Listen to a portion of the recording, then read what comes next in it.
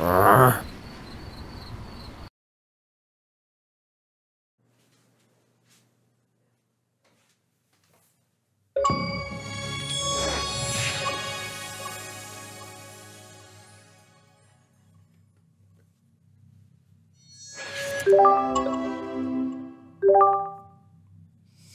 we need to talk. What is it, love? I know what you did. I'm lost. You poisoned Uncle Marcus. You tried to kill him. Tried? Yeah. He's going to survive. We. We found the antidote in time, so. You can't prove it. You really think that we'd be having this conversation if I couldn't? I know everything. Is he really going to live? Yeah. It's over, Nan. You don't understand. I didn't have a choice. I had to protect the family. That's all this has ever been about. Marcus always knew there was more to the story about his dad, my Eddie. But if I didn't act, we wouldn't have anything. You wouldn't have anything. Just tell me the truth. Tell me everything, Nan. He was going to leave us, my Eddie. He was going to leave me, your Auntie June, your mother. He was going to cut us off. I heard him planning it with her, his other woman. I tried to talk him out of it, but he wouldn't listen. I had to stop him. I had two little girls, Abby. They needed a home, they needed money. We. we deserved it. I hit him over the head. It was nothing but rage. I don't know if I even wanted to kill him. Maybe I did. One blow was enough. I panicked. You've got to understand, I was only thinking of your mother, of your Auntie June. So you killed their father. He was going to take everything from us. Where is Grandad? I, I weighted him down and pushed him into the lake. Bloody fishing lake he loved so much. He let us play in that lake. I told the girls and Marcus the same story that he killed himself. We told everyone else that he'd gone missing, the fishing accident. We had to protect the family name. The past few years, Marcus has been obsessed with finding the truth for that damn autobiography he's writing. But if he found out, everything I did to protect this family would be for nothing. When your sister told me about Bradley's poisons, I nearly laughed. It was so simple. I took them both on the morning of the meeting and waited for my chance. Your Auntie June's ever so clumsy, particularly when you give her a little shove in the back. She dropped that candle straight onto Marcus. it went better than I'd planned. I, I was hoping for a distraction uh, to get it into his drink, but uh, your mum picked it up and threw it over him. I rushed to the first aid box and poured the poison onto the wound dressing. I, I don't know which poison I actually used. It was the only one I could get the lid off. You'd think in this day and age they'd make things like that easier for people with arthritis, wouldn't you? Bradley had told Lottie that the poisons were slow acting but deadly. So, when I watched Marcus walk out of your Auntie June's house with that dressing still on his hand, I knew it was over. At least I thought I did. Seems Marcus isn't that easy to kill after all. Thanks to you. Oh my god. Don't think I don't regret everything I did. I've lived with the pain of it every day since. That's why I've kept this.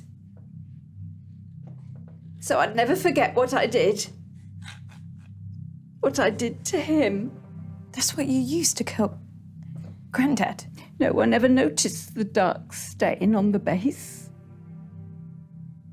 I loved him so much. I know Marcus will never forgive me. But it wasn't just me and the girls Eddie was leaving, it was Marcus too. Every time Eddie looked at Marcus, all he could see was Marcus's mother. He loved her more than he ever loved me. But it was Marcus who drove him away. That's that's why he had to move and start again. I, I know Marcus will never believe me, but if I didn't do what I did, he would have nothing too. Abby. I have to go. Abby? Wait. Abby, Oh my god, are you okay? I just talked to the doctor. She said it's going to take a long time before I feel like myself again, but I am going to live because of you. You- You're not going to believe this, but Nan. She just confessed to everything. She did? Damn, I wish I had that on tape. We've got a lot of evidence, but what we need is irrefutable proof. I know what we can do. What? We need to search the lake. Dad's lake? Why? What's in there? Jesus, that's where she put him. So she really did it. Sorry. Hey, listen, don't apologize, Abby. You found the truth. Now, look, I am going to send you some money. Book the first flight out of there you can. Come see me. You're not going to want to be around them for this next little bit. There's one last thing I need to do. Just tell us what she said, Mum. I can tell you, Abby. these are the last words I'm going to say to any of you. No, what makes you think we give a flying monkey's rat's Auntie ass? June, let's start with you. I know that you've been through a lot in your life, and I might even feel sorry for you if you weren't such a vindictive, cruel bully. I've always wanted to say this to you. I hate you. I, I hate you. Hey, Abs, that is not cool, mm, okay? Toby, how nice of you to volunteer to go next. What can I say about you? Nothing, because there is nothing to you. You are a self obsessed personality vacuum and a parasite. You follow tragedy around the globe and still somehow manage to make it about you. Like if if I lost my entire village to a devastating earthquake, you would still be the worst thing to ever happen to me. And Bradley, I might as well complete the set. You, well, you're not actively terrible, but you just really, really creep me out.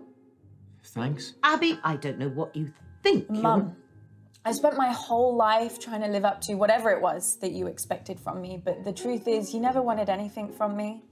You just, you wanted to be better than me. I think just so that no matter what, you could tell yourself that I will never be good enough for you. I wish I had the courage to say this a long time ago. Fuck you. Oh. oh my god, Abby. Oh god, am I next? Lottie, you're messed up and really shallow, really, really shallow. But I don't think it's entirely all your fault. So just give me some time and I'll I'll text you. Okay. Awesome. And by the way, Nan is a murderer. I'll let her fill you in on the details. Nan, Wait, what? Sam, what's she talking about? Um, What's going on? don't worry, I know a good lawyer.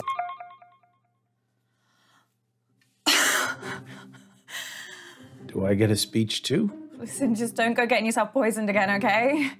I'll take that. I like this new Abby. Yeah, me too.